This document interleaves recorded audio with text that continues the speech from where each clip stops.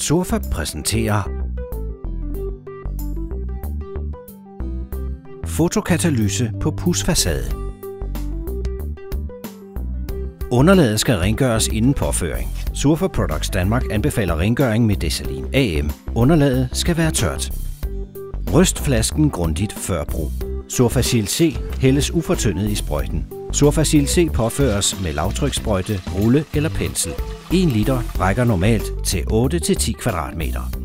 Surfacil C skaber en selvrensende overflade. Surfacil C virker som en katalysator, der via UV-lys skaber oxygen og hydroxylradikaler, hvilket nedbryder overfladens bakterier og omgivelsernes forurening som NOx, bilos og nitrogenoxider samt VOC, farlige flygtige stoffer. Overfladen forbliver ren uden begroninger og skidt. Surfacil C giver en vedvarende effekt på helt op til 15 år.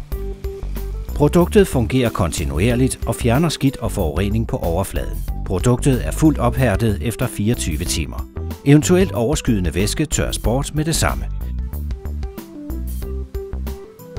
Surfa rengøring, der holder. Se mere på surfa.dk